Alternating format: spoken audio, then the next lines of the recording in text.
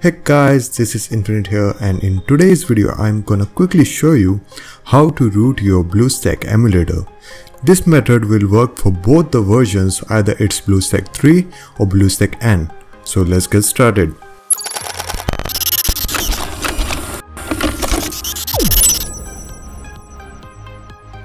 Alright guys, to root BlueStack, first let me show you that my BlueStack right here is running and it is not rooted as you can see right here.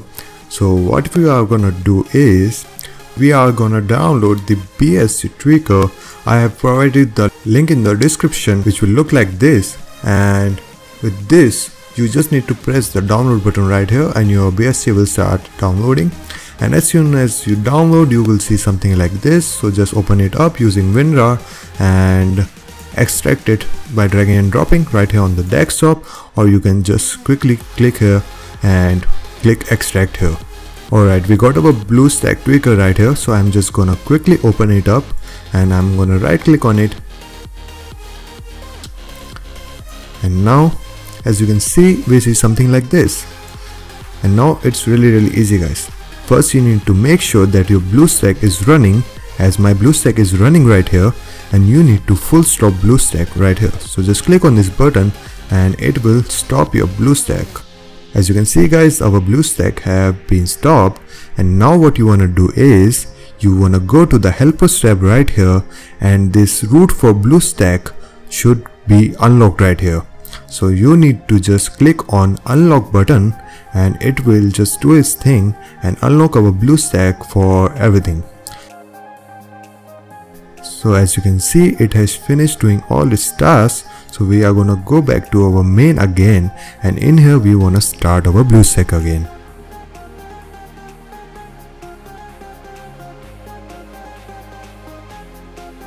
Alright guys as you can see our blue BlueStack have started. So we are just gonna go to my apps tab right here. And as soon as you reach here you wanna go to the blue BlueStack tweaker again and go to the helpers tab and now you will see that this patch menu have opened which was previously locked because BlueStack was not running. So let's just quickly patch it and it has done patching. So what you wanna do now is you just wanna install the super user binary. So I am gonna click on install APK right here and quickly browse to my downloads folder where I have downloaded my super user I have provided this APK link in the description. Make sure you download this APK only as it's specifically manufactured for BlueStack. So just quickly click on it and click on open. And as you can see, it's installing SuperUser SU and it's installed. So I'm just gonna quickly open it and as soon as I open it, it will ask for my SuperUser binary to be updated. So I'm just gonna quickly update it using the normal method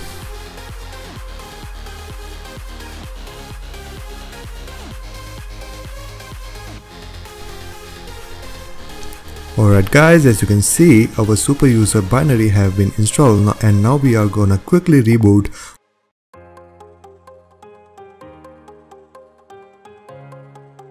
Alright guys, as you can see, we are back into our BlueStack N player.